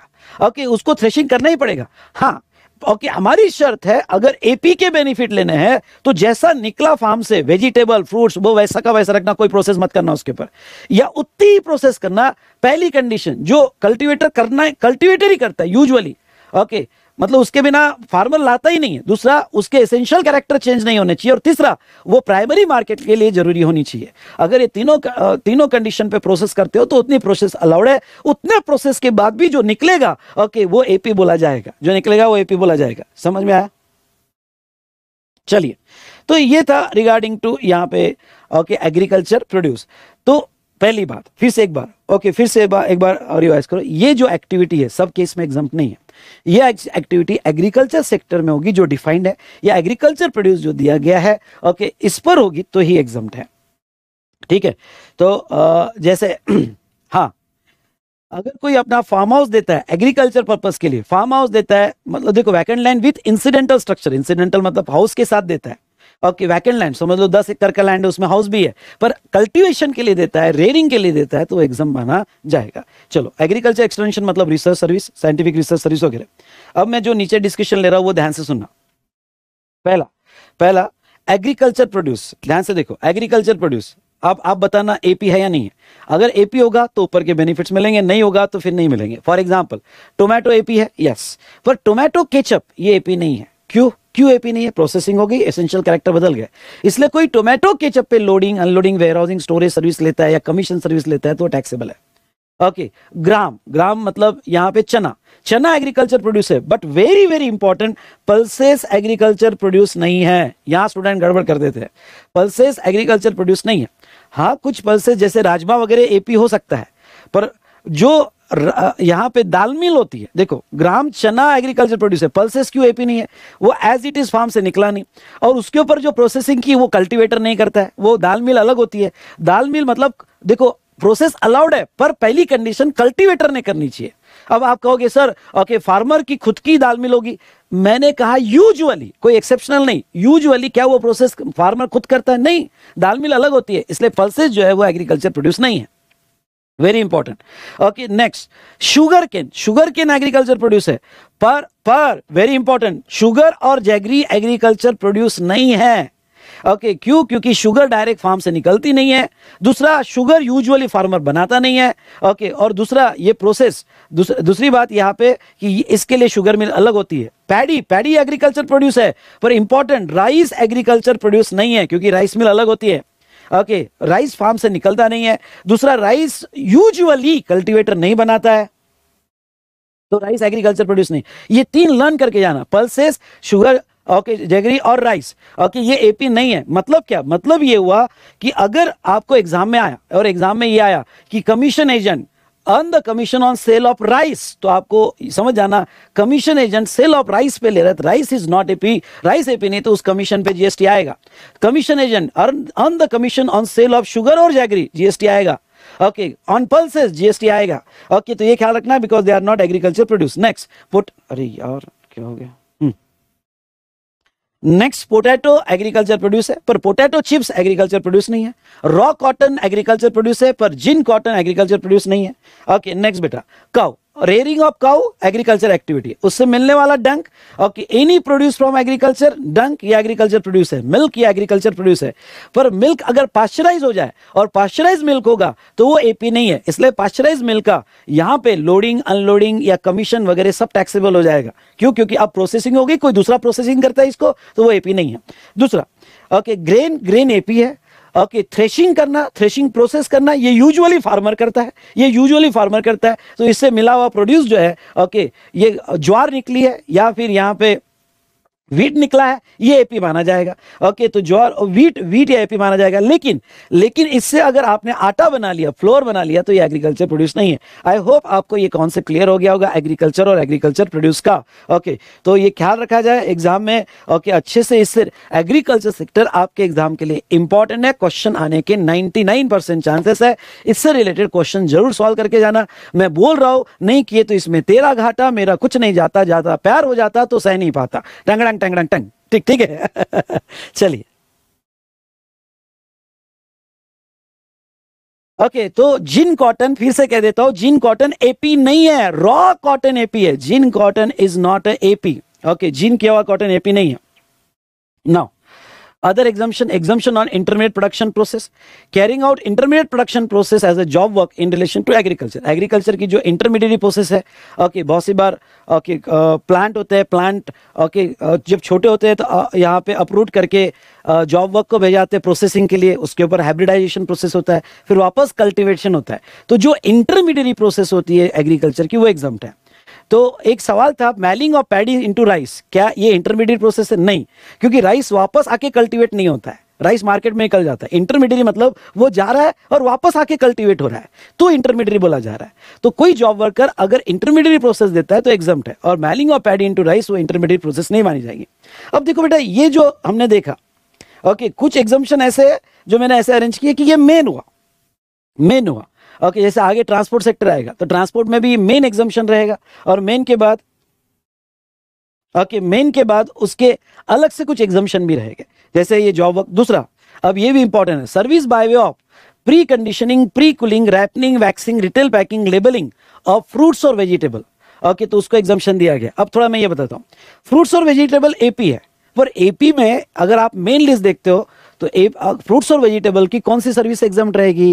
ओके तो यहाँ पे फार्म पे ली गई सर्विसेज़ लोडिंग अनलोडिंग पर फ्रूट्स पे ओके लेबलिंग होती है वैक्सिंग होती है वो ये लिस्ट में नहीं है। तो उसको अलग से एग्जामेशन दिया गया। ओके okay, अगर फ्रूट्स और वेजिटेबल हो गए स्पेशली फ्रूट्स और वेजिटेबल और प्री कंडीशनिंग प्री कूलिंग मतलब उसको यहाँ पे कोल्ड स्टोरेज में रखा जाता है तो फ्रूट्स की कोल्ड स्टोरेज सर्विसेज़ रैप रैपनिंग किया जाता है वैक्सिंग रिटेल पैकिंग किया जाता है तो उसको एग्ज़ाम है। बॉस ये जो है ना ये इंपॉर्टेंट करना। Loading unloading warehousing packing storage of rice अब सुनो मेरी बात। Rice is not AP rice is not AP इसलिए राइस को जो पहले मेन एग्जामेशन में ये जो एग्जामेशन दिया हुआ है loading unloading packing storage warehousing ये एंट्री में राइस को एग्जामेशन नहीं मिलता है। ओके क्यों नहीं मिलता है? क्योंकि राइस एपी नहीं है तो इस लिस्ट में नहीं मिलेगा। इसके वजह से साउथ के लोगों को थोड़ी नाराज़गी आ गई, क्योंकि राइस वहाँ बनता है। ओके पर राइस एपी में नहीं आता है। तो ये जो मेन एंट्री है एग्रीकल्चर की, वो राइस को बेनिफिट नहीं देती है। इसलिए फिर वो नाराज़ ना हो। इसलिए गवर्नमेंट ने यहाँ पे सेपरेटली एंट्री दे दी कि चल भाई, नाराज़ मत हो। ओके राइस का लोडिंग अनलोडिंग वेयरहाउसिंग और पैकिंग सर्विस होगा तो वो एग्ज़ाम होगा। अब इससे एक और इंटरप्रिटेशन आता है। क्या? भाई राइस जो है, सुनो मेरी बात। यहाँ पे। राइस जो है राइस का सिर्फ़ लोडिंग अनलोडिंग को एग्जामेशन दिया है। अगर राइस का कमीशन एजेंट सर्विस होगा तो एपीएमसी सर्विस होगा तो वो टैक्सेबल है। आपको लिखना होगा तो वहाँ लिख देना। Okay commission agent APMC of rice is taxable only loading unloading warehousing exempt है। ठीक है? या पैकिंग एग्ज़ाम है। बाकी कमीशन एजेंट फॉर सेल और परचेस ऑफ़ राइस एपीएमसी वो टैक्सेबल रहेगा। उसके बाद में उसके बाद में warehousing of minor forest produce okay वो कुछ फॉरेस्ट प्रोड्यूस है उसका वेयर हाउसिंग ओके देखो वेयर हाउसिंग के लिए कुछ अलग से एग्जामेशन दिए है जैसे राइस को वेयर हाउसिंग का एग्जामेशन दिया है माइनर फॉरेस्ट प्रोड्यूस को वेयर हाउसिंग का एग्जामेशन दिया है. एक एंट्री जो अभी यहाँ पे ओके okay, ये एंट्री देखो, ये भी इंपॉर्टेंट है। पहले ये एंट्री अलग थी, अब ये एंट्री इन्होंने चेंज की है। Service by way of storage और warehousing of cereals pulses fruits and vegetable okay इसमें पहले और सारे प्रोडक्ट थे, अब उन्होंने लिमिट कर दिया है। सीरियल्स होगी, जो एपी नहीं होगी पल्सेस होगी, या फ्रूट्स और वेजिटेबल ओके फ्रूट्स और वेजिटेबल पर कभी प्रोसेसिंग हो जाती है। तो अगर इनका वेयर हाउसिंग होगा तो एग्ज़ाम है। सीरियल्स पल्सेस फ्रूट्स और वेजिटेबल उनका वेयर हाउसिंग अलग से एग्जामेशन दिया है। Services by of artificial insemination of livestock artificial insemination मतलब स्पर्म डोनर ओके कभी कभी क्या होता है बफेल होता है बुल होता है तो जो हट्टा कट्टा बुल होता है, उसके स्पर्म डोनेट किए जाते हैं, उसके पैसे लगाए जाते हैं। तो artificial insemination service of livestock होगा तो वो एग्ज़ाम तो इस तरह से ओके यहाँ पे हमने ये मेजर सेक्टर एग्रीकल्चर सेक्टर के सारे एग्जामिशन देख लिए। आई होप आपने एंजॉय किया होगा, और एंजॉय किया होगा तो आपको क्या करना है? आप ऑनलाइन देख रहे हो मेरे साथ या ऑफलाइन बाद में देख रहे हो? आपको एक काम करना है कमेंट भी देना है बॉस ओके कमेंट भी देना है और लाइक भी करना है। चलिए तो चल यहाँ पे तीन सेक्टर हो गए health care sector charitable religious sector exemption sector इसमें हमने बहुत सारे एग्जामेशन देख लिए, बहुत सारे एग्जामेशन देख लिया ठीक है? तो यहाँ पे पुष्पा पुष्पा की तबीयत खराब हुई, पूजा पाठ में लग गया, उसको लगा कि मैं बचूँगा नहीं, बोलो स्टोरी मेरे साथ। ओके जिसको फास्ट में लिखना है लिख लेना। ओके पुष्पा की तबीयत खराब हुई, वो पूजा पाठ में लग गया। उसको लगा कि अब मैं बचूँगा नहीं। उसके बाद बहुत बड़ी एग्रीकल्चर लैंड थी। उसके पास बहुत बड़ी एग्रीकल्चर लैंड थी। ठीक है, आगे क्या हुआ? स्टोरी में आगे क्या हुआ देखते हैं। अब आते हैं लीगल सेक्टर में। ठीक है, अब ये legal sector again important sector for your exam important sector for your exam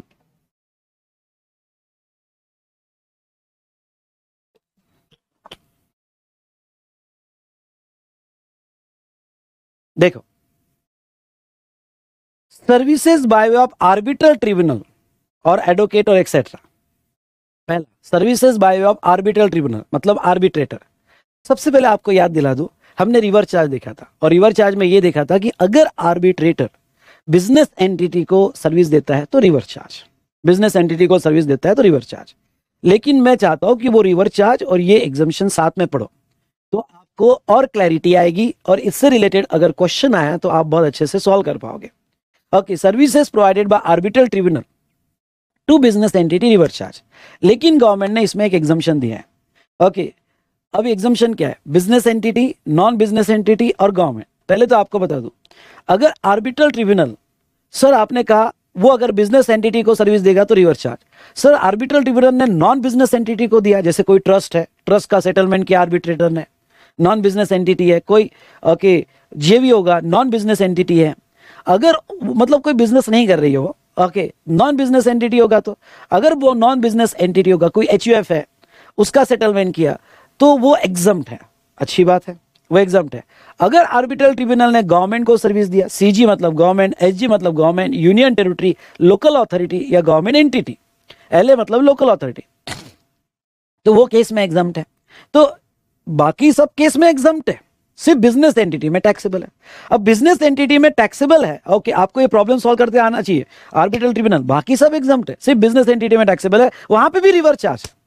पर बिज़नेस एंटिटी में भी एक एग्जामेशन दिया हुआ है। अब ये एग्जामेशन बहुत इंपॉर्टेंट एग्ज़ाम में कभी कभी इसका एक एडजस्टमेंट रहता है। एडजस्टमेंट ऐसे रहता है जब आप प्रॉब्लम में तो तो okay arbitral tribunal provided services to XYZ limited whose aggregate turnover in preceding financial year is ten lakhs वो बस इतना लिखते हैं, आपको क्लियर होना चाहिए। अच्छा टर्न भी देखना पड़ेगा। तो अब देखो, यहाँ पे, अगर आर्बिट्रल ट्रिब्यूनल ऐसे बिज़नेस एंटिटी को सर्विस दे रहा है, जिसका aggregate turnover aggregate turnover a business entity up to such amount in preceding financial year. Pfi मतलब क्या बेटा? Pfi मतलब preceding financial year. Make it eligible for exemption from registration. मतलब अगर इस साल, बोलो मेरे साथ, बोलो मेरे साथ एक बार। इस साल, अगर आर्बिट्रल ट्रिब्यूनल ऐसे बिज़नेस एंटिटी को सर्विस दे रहा है, जो छोटी बिज़नेस एंटिटी है। अब आपने छोटी क्यों बोला? क्योंकि उसका, वो बिज़नेस एंटिटी का पिछले साल का टर्नओवर पीएफआई का टर्नओवर उतना था जो उसको एग्जामिशन के बाहर रख रहा था। सॉरी uh, जो उसको रजिस्ट्रेशन के बाहर रख रहा था। Okay make it eligible for exemption from registration मतलब वो रजिस्ट्रेशन के बाहर था। सिंपल वर्ड में थ्रेशोल्ड के नीचे था। दस लाख बीस लाख या चालीस lakh.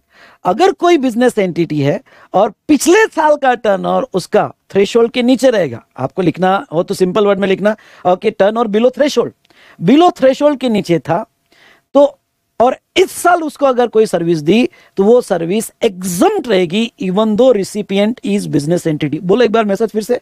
Even though recipient is business entity but aggregate turnover preceding financial year below threshold तो वो एग्ज़ाम रहेगा।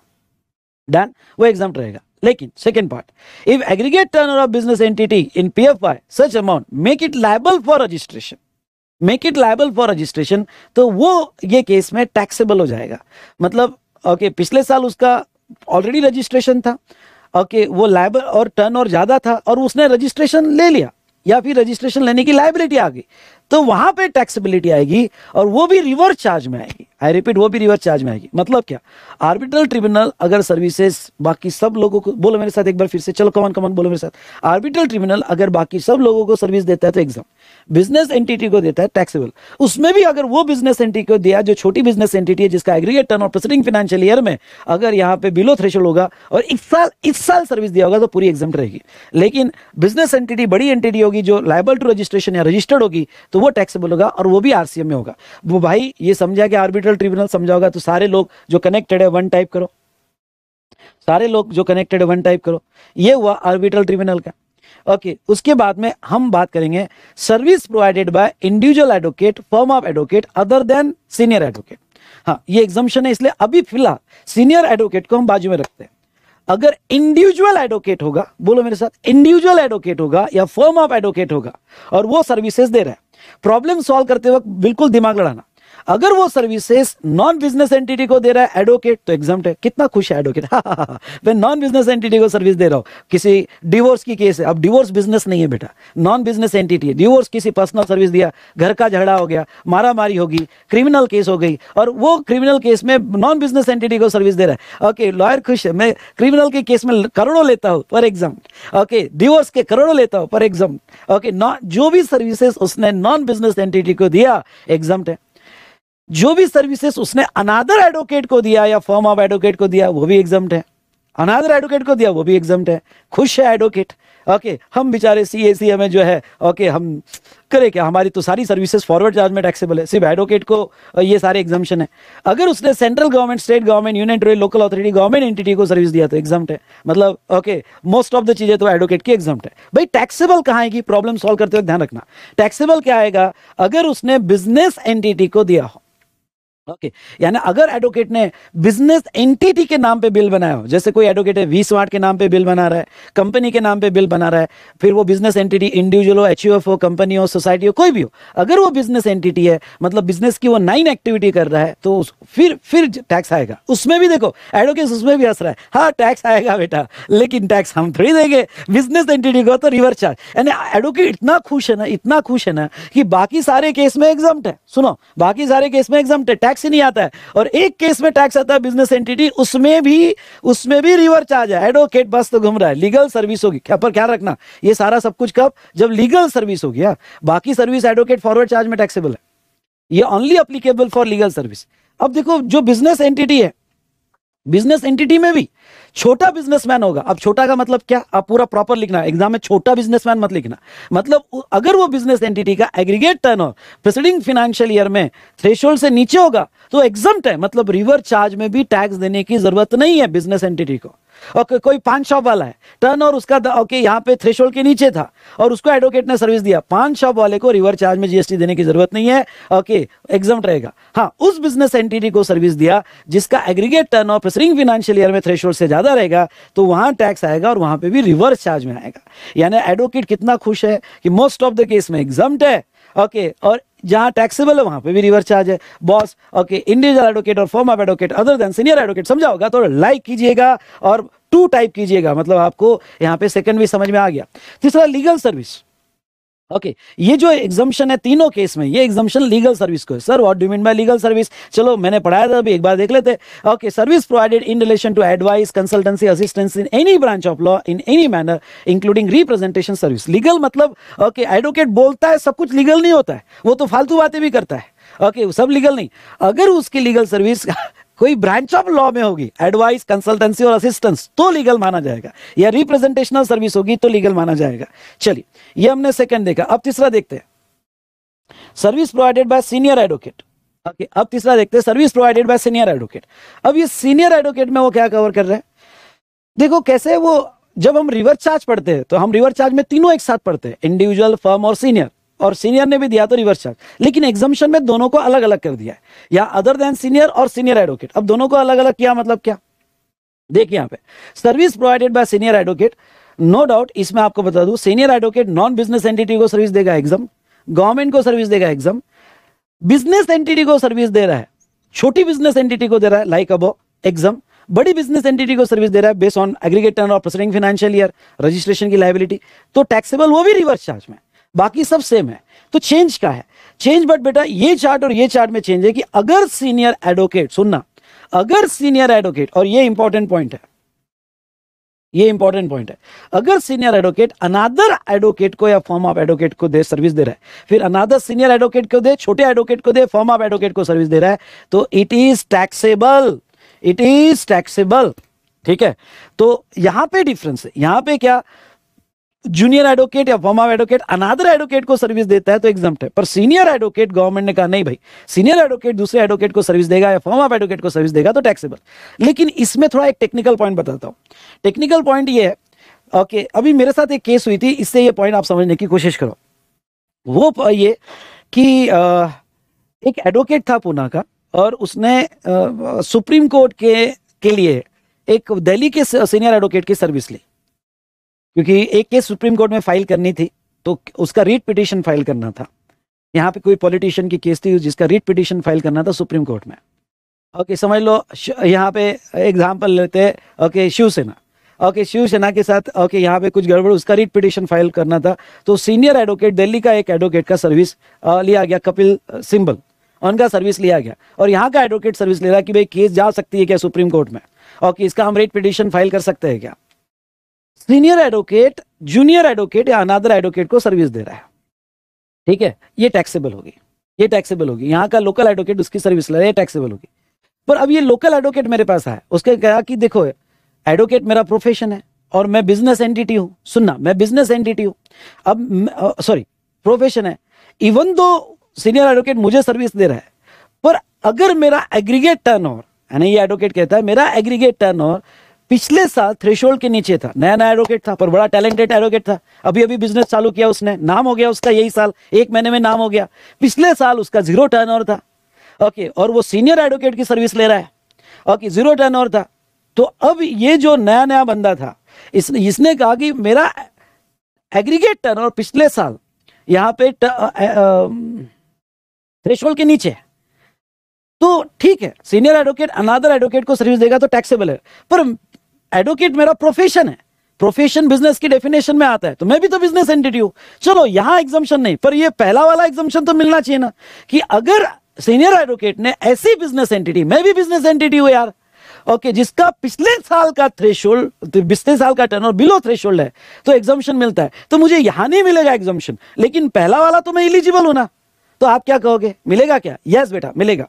तो जो दूसरे एडवोकेट को सर्विस दिया, किसने दिया? सीनियर एडवोकेट ने। वैसे एग्जामेशन नहीं है, पर पर अगर वो बिज़नेस एंटिटी यहाँ पे टर्न और थ्रेशोल्ड के नीचे होगा प्रेसिडिंग फाइनेंशियल में तो एग्जामेशन मिल जाएगा। आई होप आपको तीनों एंट्री समझी होगी। इस तरह से हमने लीगल सेक्टर खत्म किया, समझा होगा तो यहाँ पे टाइप कीजिएगा L L L legal sector ये समझा कि नहीं समझा? ओके पूरा लीगल सेक्टर हमने ले लिया। ओके तो अब हमारी स्टोरी लाइन को आगे बढ़ाते हैं। बाहुबली की सॉरी बाहुबली नहीं, पुष्पा। पुष्पा की तबीयत खराब हुई। आरसीएम तो आएगा। क्योंकि बिज़नेस एंटिटी है। बिज़नेस एंटिटी है तो वो सिचुएशन में, ये पॉइंट मैं आपको एक्सप्लेन कर देता हूँ। बिज़नेस एंटिटी है तो आरसीएम तो आएगा ना बेटा? मतलब अगर उसका टर्न अगर उसका टर्न ओवर यहाँ पे थ्रेशोल्ड से ज़्यादा होगा तो फिर रिवर्स चार्ज में उस एडवोकेट पे लाइबिलिटी आएगी। ठीक है? क्योंकि है तो बिज़नेस एंटिटी डन?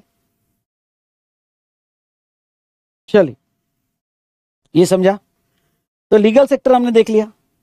हाँ, ये लीगल सेक्टर में हमने ये देख लिया कि तो पुष्पा की तबीयत खराब हुई हेल्थ केयर सेक्टर पूजा पाठ में लग गया चैरिटेबल रिलीजियस सेक्टर उसके पास बहुत बड़ी लैंड थी एग्रीकल्चर सेक्टर याद है? बहुत बड़ी लैंड थी एग्रीकल्चर सेक्टर उसने कहा कि अब मैं तो रहने वाला नहीं हूँ इसका, मैं मैं तो जाऊँगा, पता नहीं, तबीयत तो बहुत खराब हो गई। इसका बंटवारा करते हैं तो लॉयर को बुलाते लीगल सेक्टर स्टोरी अटैच हो गई। ओके एग्रीकल्चर लैंड का बंटवारा करना था। एग्रीकल्चर लैंड का बंटवारा करना था तो लॉयर को बुलाया गया लीगल सेक्टर अगर ये स्टोरी के हिसाब से जाओ तो सारे सेक्टर आपको याद आ जाएँगे एग्जामेशन थोड़ा इजी जाएगा। उसके बाद में नेक्स्ट देखते हैं पैसेंजर ट्रांसपोर्ट सर्विस ओके, चलो आ जाओ। नेक्स्ट देखते हैं पैसेंजर ट्रांसपोर्ट सर्विस ठीक है? इंडिया में, यहाँ पे जो पैसेंजर ट्रांसपोर्ट सर्विस देंगे। ठीक है? इंडिया में जो यहाँ पे पैसेंजर ट्रांसपोर्ट सर्विस देंगे मतलब वो व्हीकल रेंट पे नहीं दे रहे। सुनना मेरी बात, वो व्हीकल रेंट पे नहीं दे रहे। ठीक है? वो जो है, ओके, पैसेंजर को बैठा के टिकट चार्जेस ले रहे हैं, या जो जो रूट तक जाना है, उसके चार्जेस ले रहे हैं। तो पैसेंजर ट्रांसपोर्ट सर्विस। इंडिया में पैसेंजर ट्रांसपोर्ट सर्विस रोड से दी जाती है, जिसमें बसेस होते हैं, ऑटो होते हैं, कैब होती है। दूसरा, रेल से दिया जाता है, जिसमें ओके पैसेंजर रेलवे या मेट्रो मोनो रेल होता है। वाटर से दिया जाता है, जिसमें इनलैंड वाटर वे रिवर या शिप ओके सी से दिया जाता है। नेक्स्ट, बाय एयर दिया जाता है ओके पैसेंजर ट्रांसपोर्ट सर्विस होगी तो देखिए, आपकी अगर पैसेंजर ट्रांसपोर्ट सर्विस होगी तो वो केस में कहाँ का एग्जामेशन है, ये चार्ट अच्छे से पढ़ के जाना। पहला। ओके पहला। यहाँ पे स्टेज कैरेज अगर बाय रोड होगा बाय रोड में मैं दो पार्ट में डिवाइड कर रहा हूँ, bus meter cab auto rickshaw motor etcetera अगर आपका यहाँ पे बाय ओके रोड होगा और रोड में बस होगा बस में स्टेज कैरेज मतलब गवर्नमेंट बसेस लिखना हो तो लिख देना। स्टेज कैरेज मतलब गवर्नमेंट बसेस दूसरा कॉन्ट्रैक्ट कैरेज कॉन्ट्रैक्ट कैरेज मतलब प्राइवेट बसेस लिखना होगा तो प्राइवेट बसेस अगर गवर्नमेंट बसेस होगी और एसी बसेस होगी तो टैक्सेबल यानी गवर्नमेंट के एसी बसेस का टिकट चार्जेस पे जीएसटी आएगा। वोल्वो गवर्नमेंट ओके यहाँ पे जैसे पुणे में वोल्वो चलती है गवर्नमेंट की तो वोल्वो एसी बसेस होगी तो टैक्स आएगा। नॉन एसी ओके बस होगी तो उसके ऊपर जीएसटी नहीं आए तो आप अगर कभी महाराष्ट्र आओ, पुणे आओ तो यहाँ पे एसी बसेस में जब बैठोगे Pune to Mumbai, Pune to other cities तो उसके टिकट पे जीएसटी आएगा और वो इंक्लूसिव ऑफ़ जीएसटी रहेगा। पर नॉन एसी में बैठोगे आप तो जीएसटी नहीं आएगा। तो आओ कभी पुणे, ठीक है? तो यहाँ पे, यहाँ, लेकिन अगर ये नॉन एसी बसेस का टिकट बुक किया गया और वो ईसीओ के थ्रू बुक किया गया, जैसे रेड बस रेड बस एक ईसीओ है। अगर ये नॉन एसी बसेस का टिकट ईसीओ के थ्रू बुक हुआ, ये इंपॉर्टेंट है ईसीओ के थ्रू बुक होगा तो फिर टैक्सेबल है। अगर डायरेक्ट टिकट है तो एग्ज़ाम ईसीओ के थ्रू होगा तो टैक्सेबल है। ओके और उसका टैक्स ईसीओ देता है। उसका टैक्स ईसीओ देता है। चलो, दूसरा दूसरा प्राइवेट बसेस प्राइवेट बसेस जो होती है एसी टैक्सेबल है non AC non AC buses अगर पॉइंट टू पॉइंट ट्रांसपोर्ट है, यानी स्टेशन टू स्टेशन पब्लिक के लिए है पॉइंट टू पॉइंट है स्टेशन टू स्टेशन है तो एग्ज़ाम है। लेकिन अगर नॉन एसी बसेस टूरिज़्म के लिए दिया गया, समझ लो कोई टूरिज़्म के लिए चार दिन के लिए नॉन एसी बसेस दे दी प्राइवेट बसेस तो टैक्सेबल चार्टर्ड या हायर टूर के लिए दिया गया। ओके कोई कंपनी को हायरिंग कर दिया गया चार्टर्ड के लिए तो वो टैक्सेबल है। लेकिन ये नॉन एसी बसेस जिसमें आप ट्रेवल करते हो, एक स्टेशन से दूसरे स्टेशन जा रही है पॉइंट टू पॉइंट ट्रांसपोर्टेशन है तो एग्ज़ाम पर स्पेशली टूरिज़्म टूर या चार्टर हायर के लिए होगा तो टैक्सेबल लेकिन अगर अगेन ये नॉन एसी बसेस का अगर बुकिंग ईसीयू के थ्रू किया गया होगा, रेड बस वगैरह ऐप के थ्रू किया होगा तो वो टैक्सेबल होगा। चलो रोड में आते हैं cab auto rickshaw motor cab etcetera अगर मीटर कैब होगी और ऑटो रिक्शा होगा कमॉन मीटर कैब होगी और ऑटो रिक्शा होगा तो एग्ज़ाम लेकिन अगर वो मीटर कैब या ऑटो रिक्शा इसीओ के थ्रू बुक किया मतलब ओला के, ओला का ऑटो रिक्शा हो तो उसका टैक्स फिर ओला देगा. हाँ डायरेक्ट ऑटो होगा तो टैक्स नहीं आएगा, मीटर कैब होगी तो टैक्स नहीं आएगा, लेकिन इसीओ के थ्रू अगर आपने कैब और रिक्शा बुक किया तो वो केस में टैक्स आएगा. और अदर सिर्फ़ मीटर कैब को एग्ज़ाम है ऑटो रिक्शा को एग्ज़ाम है इंक्लूडिंग ई रिक्शा ओके मतलब अभी भी यहाँ पे आप देखो तो यूपी में दिल्ली में ई रिक्शा चलते हैं महाराष्ट्र में भी कुछ जगह ई रिक्शा चलते हैं तो ई रिक्शा भी इसमें कवर्ड है, वो एग्ज़ाम रहेगा। लेकिन प्राइवेट कैब होगी? प्राइवेट टैक्सीज होगी तो वो टैक्सेबल रहेगी। ठीक है? ये हुआ रोड रोड का समझा क्या? समझा होगा तो आर टाइप करो। रोड का समझा होगा तो आर टाइप करो। ठीक है? उसके बाद में रेलवे समझ लो आप पुणे आते हो ओके पुणे आने के बाद आप, ओके रेल रेल में बैठ रहे हो, लोकल रेल में यहाँ से रेल में और कहीं जा रहे हो। इंडियन रेलवे होगी। इंडियन रेलवे में फ़र्स्ट क्लास और एसी क्लास की टिकट पे जीएसटी आएगा। बोलो मेरे साथ, फ़र्स्ट क्लास और एसी क्लास की टिकट पे जीएसटी आएगा। बाकी स्लीपर क्लास, उसके बाद में ऑर्डिनरी क्लास, बाकी एग्ज़ाम, फ़र्स्ट क्लास और एसी क्लास होगा तो टैक्स दूसरा, मेट्रो मोनोरेल ट्रैमवे होगा तो ये एग्ज़ाम सी दिस आयरन या इंडियन रेलवे में एसी क्लास टैक्सेबल है, पर मेट्रो तो पूरी एसी होती है। ओके मेट्रो तो पूरी एसी होती है। वो एग्ज़ाम है। गवर्नमेंट मेट्रो मोनोरेल ट्रैमवे को प्रमोट करना चाहती है। जैसे आप कोलकाता जाते हो ट्रैमवे में बैठते हो तो वो एग्ज़ाम है। इसको प्रमोट करना चाहती है तो ये एसी भी होगी तो भी एग्ज़ाम है। उसको प्रमोट करना चाहती है। फिर आते हो वाटर वाटर में इनलैंड वाटरवे इनलैंड वाटर मतलब रिवर ट्रांसपोर्ट ठीक है? तो इनलैंड वाटरवे रिवर से जा रहे हैं। जैसे यहाँ पे मुंबई से कोकन रिवर है। रिवर से जा रहे होगे ओके तो in simple word river transport exempt लेकिन वेसल वेसल यानी ship ship transport by sea अगर आप वेसल से जा रहे हो और वो वेसल टूरिज़्म के लिए होगा, जैसे क्रूज शिप टूरिज़्म मतलब लिख देना क्रूज शिप होगी और वो मुंबई से गोवा जा रही होगी। क्रूज शिप होगा तो टैक्सेबल लेकिन पब्लिक ट्रांसपोर्ट होगा अदर पर्पज यानी पब्लिक ट्रांसपोर्ट होगा वेसल से तो एग्ज़ाम ओके और लास्ट बाय एयर पहले तो कहूँ बाय एयर पूरा टैक्सेबल है। मतलब समझ लो आप आपके सिटी से पुणे है। पुणे आए बाय एयर है। अगर पुणे आप बाय एयर आते हो तो वो टिकट पे चार्जेस फिर आप एयर एयरपोर्ट पे उतरे।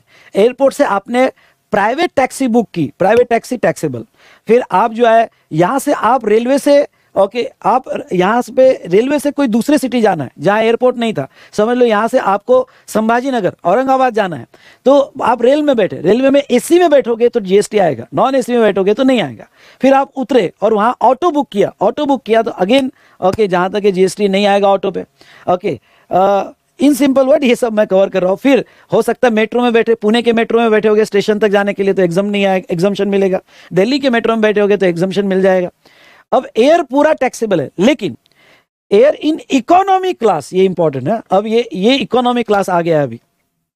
अगर आप कुछ एरिया में, जैसे अरुणाचल प्रदेश, आसाम, मणिपुर, मेघालय, मिजोरम, नागालैंड, सिक्किम, त्रिपुरा या बगदोदरा, ये एरिया में जाते हो और इकोनॉमिक क्लास की टिकट लेते हो, ये इंपॉर्टेंट वर्ड है। इकोनॉमिक क्लास की टिकट लेते हो तो वो केस में जाने का, यानी एम्बार्किंग या टर्मिनेशन यहाँ से जाके वहाँ टर्मिनेट कर रहे हो या वहाँ से बैठ रहे हो, जाने आने की टिकट ये एरिया में कहीं से भी बुक करो, जाने आने की टिकट इकोनॉमिक क्लास में बुक रहेगी, क्योंकि गवर्नमेंट को ये एरिया का टूरिज़्म प्रमोट करना है। इसलिए गवर्नमेंट कहती है, अगर आप ये एरिया में जा रहे हो, कहीं से भी बैठो, कोई भी पर्पज के लिए बैठो, ये एरिया में जा रहे होगे तो वो सिचुएशन में इकोनॉमिक क्लास के एयर टिकट पे जीएसटी नहीं आएगा एग्ज़ाम रहेगा, बाकी सारे इस पर टैक्सेबल रहेगा। चलो तो हमारा पैसेंजर ट्रांसपोर्ट सेक्टर खत्म हुआ। समझा क्या? मेनली सारे मेन डिस्कशन तो हो गए। ये समझा क्या पैसेंजर ट्रांसपोर्ट सेक्टर यस और नो चलो, यहाँ पे। ठीक है?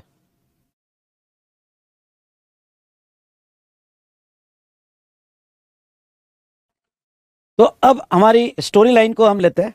हमारे स्टोरी लाइन को कंटिन्यू करते हैं। क्या स्टोरी लाइन थी? क्या थी स्टोरी लाइन हाँ। पुष्पा की तबीयत खराब हुई हेल्थ केयर सेक्टर पूजा पाठ में लग गया चैरिटेबल रिलीजियस सेक्टर नेक्स्ट उसके पास बहुत बड़ी एग्रीकल्चर लैंड थी एग्रीकल्चर सेक्टर एग्रीकल्चर लैंड का बंटवारा करने लॉयर को बुलाया गया लॉयर लीगल सेक्टर उस, इतनी लैंड थी कि उसके बहुत सारे रिलेटिव आ गए ट्रांसपोर्ट करके पैसेंजर ट्रांसपोर्टेशन बहुत सारे रिलेटिव क्योंकि सब सब रिलेटिव को लालच आ गए कि मुझे भी कुछ मिलेगा, मुझे भी कुछ मिलेगा, मुझे कुछ मिलेगा। उसके बहुत सारे रिलेटिव आ गए पैसेंजर ट्रांसपोर्ट सेक्टर ओके चलो, अब आगे देखते हैं। Transport of goods okay transport of goods अब ट्रांसपोर्ट ऑफ़ गुड्स में हमने पैसेंजर ट्रांसपोर्ट देखा, अब गुड्स ट्रांसपोर्ट देख लेते हैं फटाफट, चलिए। तो गुड्स ट्रांसपोर्ट में बाय रोड होता है वेरी इंपॉर्टेंट पहले पैसेंजर ना अब गुड्स देख रहे हो। Okay road railway inland waterway okay air और वेसल पाइपलाइंस और कैंड्यूट अब मैं आपको बता दूँ। रोड होता है रोड में जीटी होगा तो टैक्सेबल सुनो। रोड में जीटी होगा तो टैक्सेबल कुरियर होगा तो टैक्सेबल जीटी मतलब गुड्स ट्रांसपोर्ट एजेंसी वो टैक्सेबल है। वो दोनों ऑप्शन में टैक्सेबल है। फॉरवर्ड और reverse twelve percent five percent आपको याद है। तो दोनों ऑप्शन में टैक्सेबल है और कुरियर तो रोड से अगर जीटीए गुड्स ट्रांसपोर्ट कर रहा है या कुरियर एजेंसी तो टैक्सेबल है। बाकी सारा अदर रोड ट्रांसपोर्ट एग्ज़ाम है। बुलक कार्ड है, छोटे गुड्स कैरेज है। ओके जो जीटीए नहीं है, वो सारा एग्ज़ाम है। जो इंडिविजुअल ट्रक ओनर है, देखो इंडिविजुअल ट्रक ओनर जीटीए में नहीं आते। ओके जो कंसाइनमेंट नोट इशू नहीं करते इंडिविजुअल कैरेज ओनर जीटीए में नहीं आते। तो वो सारे एग्ज़ाम है, यानी सारा रोड इसको ऐसा पढ़ो, सारा रोड ट्रांसपोर्ट एग्ज़ाम है एक्सेप्ट जीटीए एंड कोरियर उसके बाद में रेलवे रेलवे यानी मालगाड़ी गुड्स की गाड़ी, मालगाड़ी लिख दो, वो फुल्ली टैक्सेबल है। सीधी सायरनी पैसेंजर होगा पैसेंजर होगा आपका तो रेलवे में पैसेंजर होगा तो सिर्फ़ AC class, first class taxable है। बाकी एग्ज़ाम पैसेंजर में।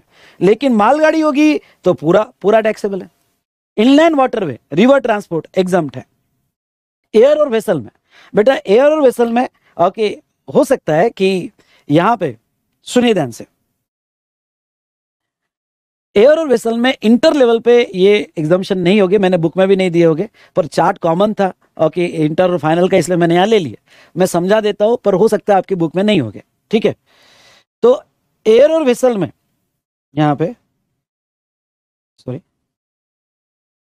अगर ट्रांसपोर्टेशन बाहर से इंडिया में होगा, ट्रांसपोर्टेशन बाहर से इंडिया में होगा up to custom station India by air होगा तो एग्ज़ाम ओके बाय एयर होगा तो एग्ज़ाम बाय वेसल होगा तो टैक्सेबल ठीक है? India to India air vessel होगा तो पूरा टैक्सेबल है.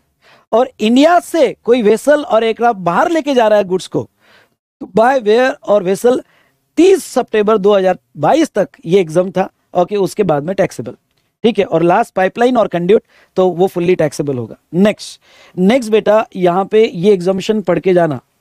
इस पे बहुत सी बार क्वेश्चन आते हैं. In following goods are transported by GTA, rail or vessel, then exempted from the payment of tax.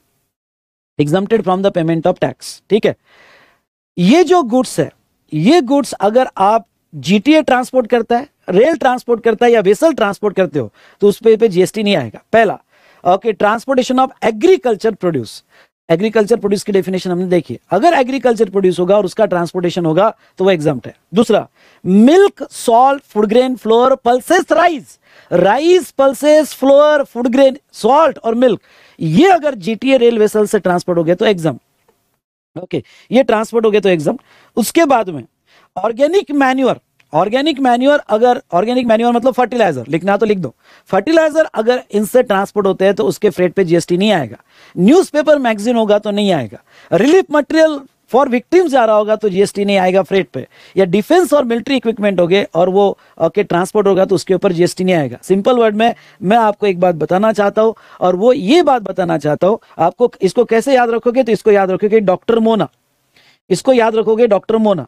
Okay ये डॉक्टर मोना कैसे याद रखोगे डी डी फॉर ओके क्या? Defence R for relief material okay M for okay M for क्या रहेगा? Milk salt food grain okay M D R okay N O O for organic manure उसके बाद में N for newspaper A for agriculture produce तो ये doctor मना याद रखना और ये लिस्ट याद रखना। और ये अगर जीटीए रेल और वेसल से ट्रांसपोर्ट होता है तो वो सिचुएशन में यहाँ पे इनको एग्जामिशन नहीं मिलेगा। ठीक है? उसके बाद में बेटा service provided by GTA to department of government जो टीडीएस टीसीएस काटेगी। अगर जीटीए गवर्नमेंट डिपार्टमेंट को सर्विस दे रहा है, जो only registered for deduction of TDS TCS तो वो एग्जामिशन में रहेगा। उसके बाद में service by way of hiring of hiring to state transport undertaking motor vehicle mean to carry twelve passenger अगर आपने हायर पे दिया, और किसको दिया? ये ये भी इंपॉर्टेंट एग्जामेशन है। अगर आपने हायर पे दिया, और आपने स्टेट ट्रांसपोर्ट अंडरटेकिंग को दिया, जैसे महाराष्ट्र में महाराष्ट्र स्टेट ट्रांसपोर्ट कॉर्पोरेशन है एसटी महामंडल है ओके तो उस पर आपने मोटर व्हीकल दिया, जिसकी सिटिंग कैपेसिटी 12 से ज़्यादा है। अब 12 से ज़्यादा है मतलब बसेस रेंट पे दिया, अगर स्टेट ट्रांसपोर्ट अंडरटेकिंग को, जिसकी सिटिंग कैपेसिटी 12 से ज़्यादा है तो एग्ज़ाम रहेगी। दूसरा लोकल अथॉरिटी लोकल अथॉरिटी को इलेक्ट्रिक व्हीकल रेंट पे दिया, जिसकी सिटिंग कैपेसिटी बारह से ज़्यादा है तो एग्ज़ाम रहेगा। अगर आपने हायर जीटीए को कोई ट्रक रेंट पे दिया जीटीए को रेंट पे दिया तो उसको भी एग्जामेशन है। और ओके ऐसे बंदे को आपने मोटर व्हीकल रेंट को दिया जो आगे स्कूल को सर्विसेज़ देता है तो उसको भी एग्जामेशन है। तो ये हमने ट्रांसपोर्ट सेक्टर के एग्जामेशन देखे। ओके, यहाँ पे। चलिए बेटा, ये एग्जामेशन अभी हमने देखा है, पहला सेशन इसी सेशन को हम नेक्स्ट इसमें कंटिन्यू करेंगे। इसी सेशन को हम नेक्स्ट इसमें कंटिन्यू करेंगे। ठीक है तो यहाँ रुकते हैं। और एग्जामेशन को आगे नेक्स्ट इसमें कंटिन्यू करेंगे। आई होप आपने ये पूरा डिस्कशन एंजॉय किया होगा। एंजॉय किया होगा तो आप ऑनलाइन ऑफलाइन में जो भी देख रहे होगे तो बस आपने लाइक करना है और अपनी कमेंट ज़रूर देखना है। ज़रूर देना है कि आपको ये रिविजन कैसा लगा। Okay done thank you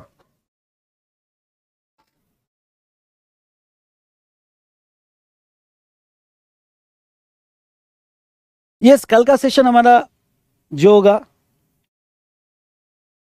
yes बेटा। तो कल का सेशन की लिंक मैं क्रिएट कर दूँगा। कब होगा वो लिंक पे टाइमिंग देख लेना। कब होगा वो लिंक पे टाइम देख लेना। पॉइंट नंबर टू ओके आपने अगर वी स्मार्ट अकेडमी के लॉगिन किया होगा और आपने टेलीग्राम ग्रुप ज्वाइन किया होगा, जो आपके लॉगिन में दिया गया है तो टेलीग्राम ग्रुप में भी मैं अपडेट कर दूँगा। ठीक है, चलो, यहाँ रुकते हैं। लिंक मैं क्रिएट कर दूँगा कल के सेशन की। लिंक मैं क्रिएट कर दूँगा कल के सेशन की। उस पर टाइमिंग देख लेना आपने। चलो